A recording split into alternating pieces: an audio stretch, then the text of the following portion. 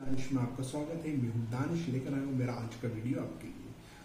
Friends आज के हमारे वीडियो में हम बात करेंगे कि आप किस तरह से एक डेटा साइंटिस्ट बन सकते हैं और क्या क्या रिक्वायरमेंट है आपको कि आप एक बहुत जल्दी इस तरफ़ करियर के अपने अपने आप को ले जा सकते हैं। आजकल आपको पता ही होगा कि आईटी इंडस्ट्री में सबसे ज़्यादा डिमांड है डेटा साइंटिस्ट की। तो इसके लिए मैंने अपने एक दोस्त से बात की है। आगे आप देखेंगे जो उनसे मेरी कन्वर्सेशन है, उसे देखेंगे। कि किस तरह से हमने वो एक डेटा साइंटिस्ट बने और एक मल्टी नेशनल कंपनी में जॉब कर रहे हैं। तो आप वीडियो में बने रहिए और हमारे चैनल को अभी तक आपने सब्सक्राइब नहीं किया है तो प्लीज़ सब्सक्राइब कर लीजिए। इसी तरह से हम अच्छी वीडियो और एजुकेशन एजुकेशन से रिलेटेड वीडियो आपके लिए लाते रहते हैं। तो दोस्तों वीडियो के साथ बने रहिए। थ्री एट फोर हेलो बताओ बोलो। हाँ हम ये बोल रहे थे इसका, इस फ़ील्ड में मतलब आईटी सेक्टर में प्रेजेंट टाइम पे सबसे ज़्यादा डिमांड है डेटा साइंटिस्ट की। तो डेटा साइंटिस्ट के लिए सबसे पहले आपको कुछ प्रोग्रामिंग लैंग्वेज लर्न करनी पड़ेगी, जिसमें पाइथन है, सबसे पहले मोस्ट इम्पोर्टेंट पाइथन अगर पाइथन का आपके पास अच्छा हैंड है देन उसके बाद आप डेटा साइंस का पाइथन का कोर्स कर सकते हैं, किसी भी ऑनलाइन जैसे सिंपली लर्न है उडेमी है, बहुत सारे ऐसी अवेलेबल है यूट्यूब पे भी और इंस्टीट्यूट ऑनलाइन प्रोवाइड करवा रहे हैं ये सारी चीज़ें तो आप उनसे सीख सकते हैं। सेकेंड चीज़, इसमें डेटा साइंस में सिर्फ़ डेटा साइंस का मीन ये है कि इसमें डेटा एनालिटिक्स भी है डेटा इंजीनियरिंग भी है डेटा माइनिंग भी है। ये अलग अलग पार्ट है, जैसे डेटा इंजीनियरिंग हो गया डेटा माइनिंग हो गया डेटा क्लीनिंग हो गया, ये तीन अलग अलग पार्ट है देन डेटा साइंस ये सब की जो पूरी साइकिल है, इसको होल डेटा साइंस कहते हैं। इसमें आपकी, इन तीनों चीज़ों के बाद मशीन लर्निंग आती है डीप लर्निंग आती है न्यूरल नेटवर्क्स आते हैं टेंसर फ्लो आता है। तो जिसके पास ये पूरी कंप्लीट कैपेबिलिटी है तो वो एज अ डेटा साइंटिस्ट किसी भी कंपनी में वर्क कर सकता है। इसके लिए सबसे पहले आपको पाइथन आनी चाहिए देन आपके पास डेटा से आपको स्टार्ट करना है data cleaning data mining data engineering database and then data science और डेटा साइंस में फिर मोस्ट इंपॉर्टेंट रोल होता है मशीन लर्निंग का। और मशीन लर्निंग के साथ साथ अब प्रेजेंट टाइम पे आईटी इंडस्ट्री भी अपग्रेड हो गई है तो डीप लर्निंग का यूज़ हो रहा है, जिसमें एक तरीके से मशीनें यूज़ कर रही हैं ह्यूमन ब्रेन को, कि किसी भी चीज़ को कॉम्प्लेक्सिटी को डेटा की समझने के लिए जैसे कि ह्यूमन सोचता है, वैसे मशीन भी सोच रही है। इस तरीके से प्रोग्राम बनाए जाते हैं पाइथन में प्रोग्रामिंग करके तो उसके लिए डीप लर्निंग तो ये सारी मेन स्किल्स हैं और इसमें अपॉर्चुनिटी बहुत है। अपार्ट ऑफ़ दैट अगर आपको कुछ और इसमें इम्प्लीमेंटेशन करना है तो अगर सिर्फ़ पाइथन आपने सीखी है तो एक छोटा सा टूल होता है टैबलू उसमें डेटा विजुअलाइजेशन का मेन है कि जो भी कंपनीज़ के बिज़नेस डेटा हैं, उनको आपको विजुअलाइज करना है और एक रिपोर्ट जनरेट होती है, वो आपके बिज़नेस इम्पैक्ट करेगी किसी भी कंपनी के, उसमें आपको वो सारी, उस डेटा का विजुअलाइजेशन आपको शो करना पड़ेगा। तो ये एक छोटा सा टूल है।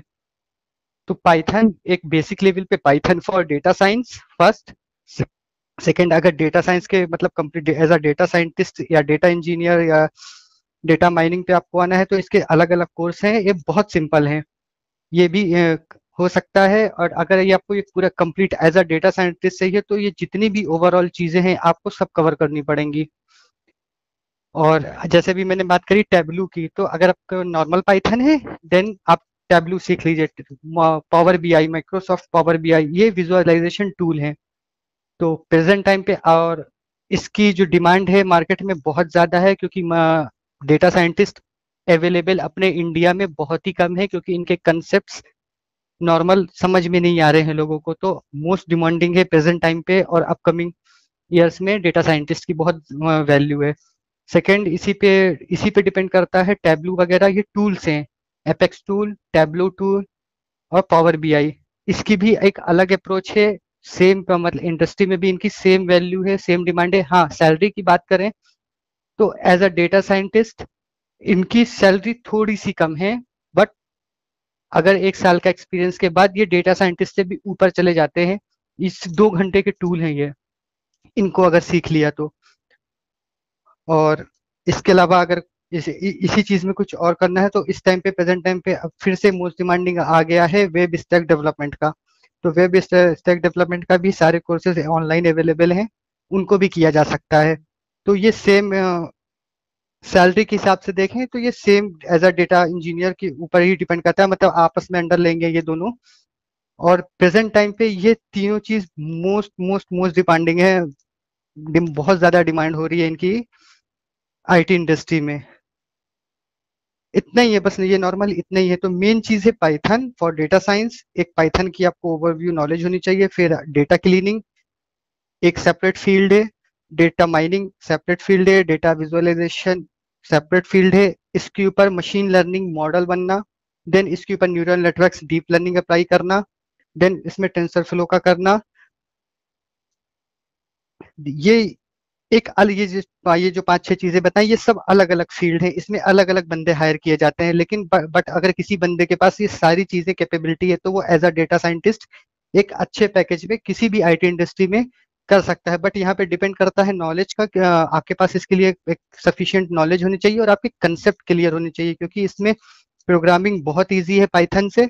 बट इसमें जो कंसेप्चुअल जो चीज़ें हैं, वो बहुत टफ पड़ रही है प्रेजेंट टाइम पे। तो इसलिए ये मोस्ट डिमांडिंग है और अभी भी है और आने वाले कई सालों तक रहेगा और सारी चीज़ें डिजिटलाइज हो रही हैं तो उसमें भी ये बहुत इंपॉर्टेंट है। अब हम डेटा साइंस से हट के अगर हम कन्वर्सेशनल एआई की बात करें आर्टिफिशियल इंटेलिजेंस की तो प्रेजेंट टाइम पे आप भी देख रहे होंगे जैसे बहुत सारी वेबसाइट्स हैं या एप्लीकेशन हैं तो उसमें चैट बॉट बनाया जा रहा है ऑटोमेटिक रिस्पॉन्स के लिए। तो एक ये भी बहुत कोर डॉट ए आई एक ये प्लेटफॉर्म है जिससे आप चैट चैटबॉट डेवलपमेंट बनाना सीख सकते हैं। तो एक ये भी टूल है अब ये ये प्लेटफॉर्म है, इस पे आपको पूरा सिखाया जाता है, पूरी ट्रेनिंग दी जाती है फ्री ऑफ़ कॉस्ट अवेलेबल है। तो चैटबॉट बनाना है तो ये सीख लिया तो इसके भी थ्रू ये आपके एक स्किल्स में आ जाएगा और आप किसी भी आईटी इंडस्ट्री में एक स्टार्टअप ले सकते हैं।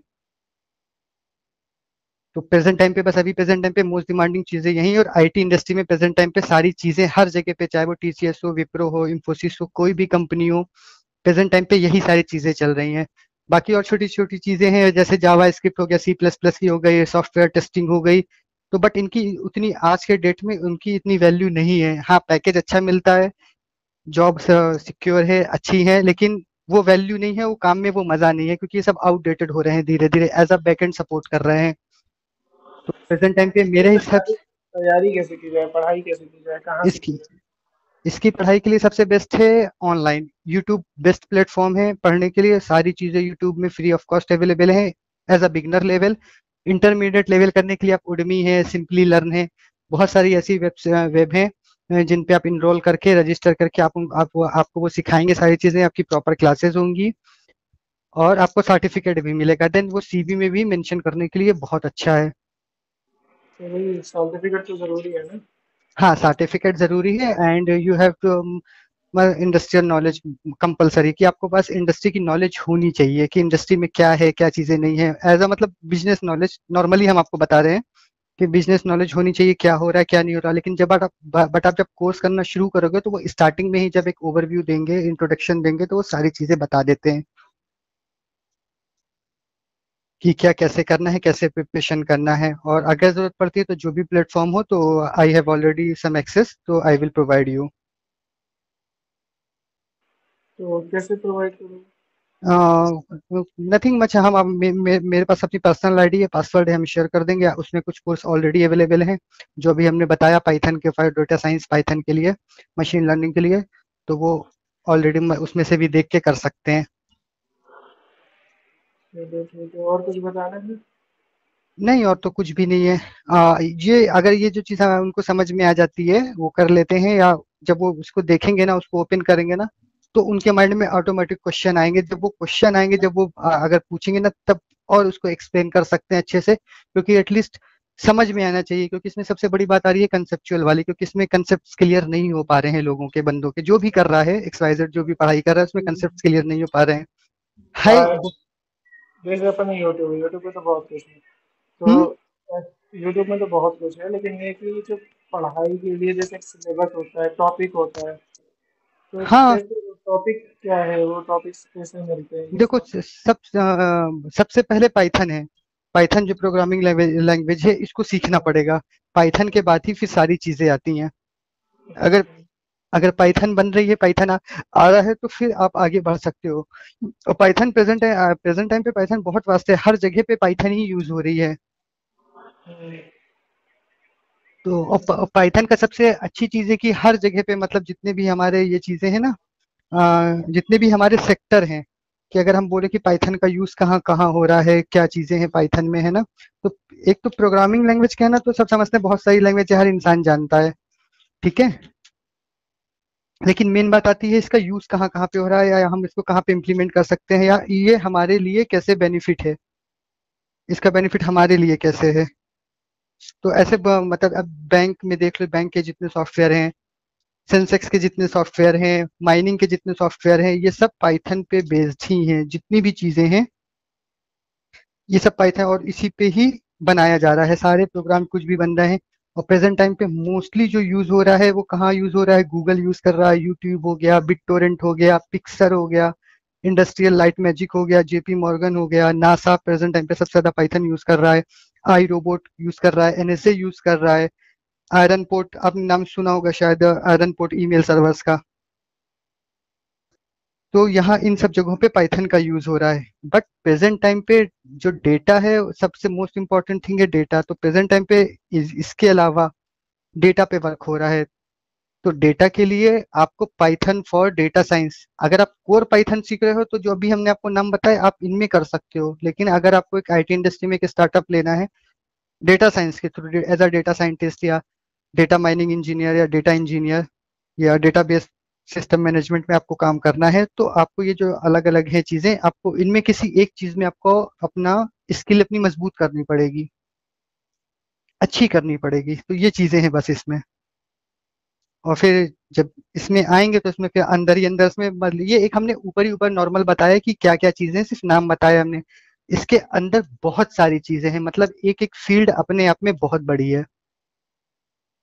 और सबसे इजी है किसी भी इंडस्ट्री आईटी इंडस्ट्री में जॉब लेने के लिए प्रेजेंट टाइम में आप टैबलू टूल सीख लो। आप पाइथन सीखो थोड़ा सा एसक्यूएल सीखो कि डेटाबेस से हमको डेटा फेच करना है।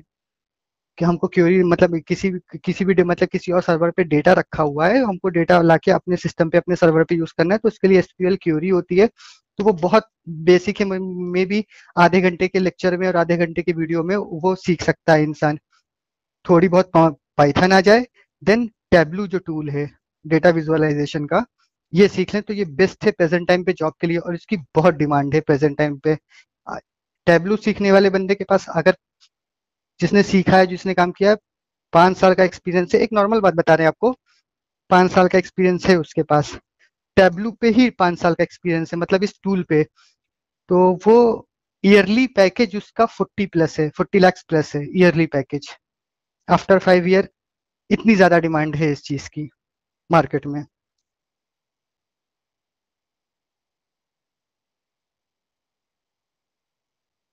तो ओवरऑल इतना ही है। और कुछ आपको पूछना हो तो बताइए। Hello hello am I audible brother